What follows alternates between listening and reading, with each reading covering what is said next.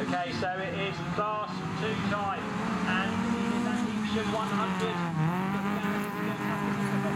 Swapping as uh, Steve DeMel and Appleston 6. Nice to see him up there in second position at the moment as they're sorting themselves out down that back straight.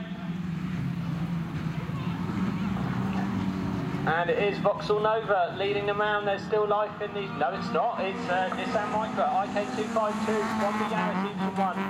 Foxton over and Bristol. And we've also got Russ pictured there in the Radford 40 machine just making a move on Demel there into third. But Demel uh, closing the gap as they're going down that back straight, trying to take that position back with Jack Stevens there in fifth and the Appleston 82 machine. But it is IK252 absolutely flying as well.